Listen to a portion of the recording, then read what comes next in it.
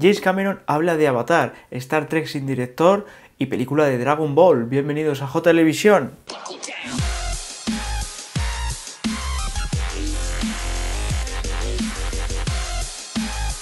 Pasó lo impensable, JJ Abrams abandonó Star Trek para hacer Star Wars Episodio 7, cosa que yo desde luego no esperaba, yo por eso lo descarté de los primeros.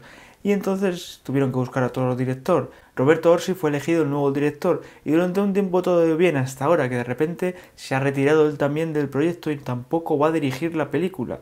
Así que ahora Star Trek no tiene director. Se piensa que Edgar Wright podría ser el nuevo director encargado de Star Trek 3, teniendo en cuenta que dejó el proyecto de Ant-Man a medias, pues ahora tiene tiempo para hacer cualquier otra película. Pero eso no significa que él vaya a ser el director, aunque teniendo en cuenta la prisa que tienen por estrenar esta película para que coincida con el 50 aniversario de Star Trek, tendrán que elegirlo rápido.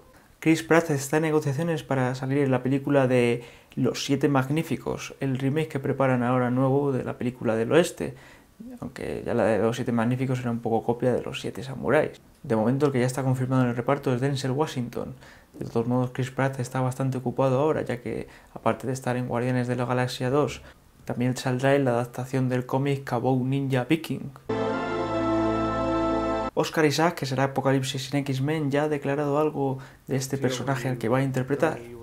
Lo que ha dicho es, en nuestras primeras conversaciones hablamos mucho sobre el punto de vista de Apocalipsis y sus intenciones, como ya ha hecho con sus anteriores películas, creo que Brian Singer persigue algo más interesante que los aspectos arquetípicos de los personajes, que funcionan muy bien en el cómic, pero no tanto en la película.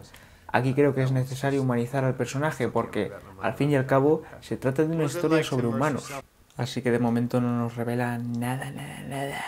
Tenemos que esperar a que nos digan algo más que, que, que están trabajando en ello. Póster de Cenicienta, aquí tenemos a la hada madrina, interpretada por Elena Bohan Carter. Es curioso porque ella normalmente con las pelis de Tim Burton siempre ha ido de gótica y ahora la vemos aquí súper de blanco. Es, es completamente lo contrario a lo que nos podríamos haber imaginado.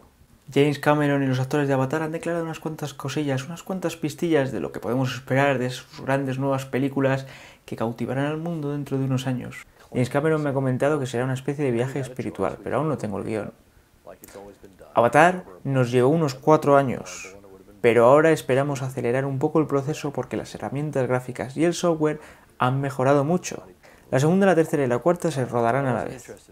Ahora nos encontramos diseñando criaturas, paisajes y personajes que aparecerán en las tres películas. Deberíamos terminar los guiones en las próximas seis semanas. Creo que va a ser espectacular. Habrá nuevos mundos, nuevos hábitats, nuevas culturas. El concepto de los humanos intentando dominar la naturaleza y los Navi formando parte de ella será el mismo, pero lo exploraremos desde otras perspectivas. Creo que las películas deberían rodarse en 3D, aunque la proyección debería ser mejor y más brillante.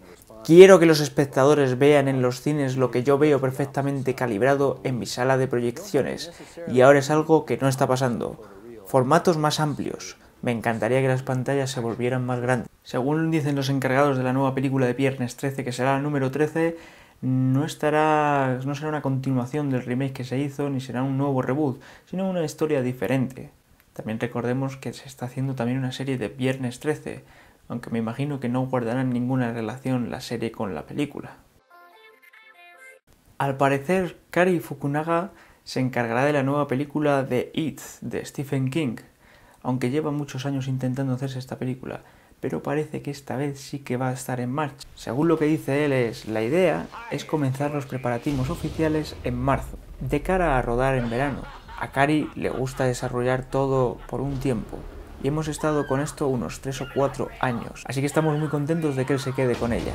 Lo más importante es que Stephen King nos ha dado su bendición, no queríamos hacer esto a menos que él sintiese que era el camino correcto a seguir. Y cuando le enviamos el guion, la respuesta que Cari trajo fue, vaya con Dios, por favor. Esa es la versión que el estudio debe hacer. Así que fue realmente gratificante. La idea que tienen es hacer esta película en dos partes, es decir, dos películas, tal y como pasaba en la serie, que también estaba dividida en dos partes. Toho dio un largo descanso a Godzilla después de Final Wars, durante 12 años no ha tenido nada Godzilla hasta ahora, aparte de la película americana. Y ahora ya es el momento de que vuelva Godzilla. Es muy buen momento tras el éxito de la versión estadounidense de este año. Si no es ahora, ¿cuándo? La licencia que tenemos con Legendary no tiene ninguna restricción que nos impidan hacer nuevas versiones domésticas. Así que aparte de la versión americana que podremos ver en 2018, en 2016 se estrenará otra versión japonesa de Godzilla, evidentemente con mucho menos presupuesto que estas versiones americanas que son gigantescas, pero que también promete ser bastante mejor que esas antiguas pelis en las que veíamos al muñeco moverse por ahí.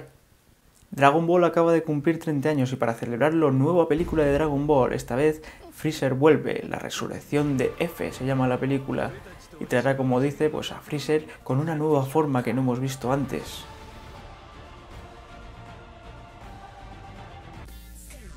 Para más noticias de cine, suscríbete al canal y eso es todo amigos.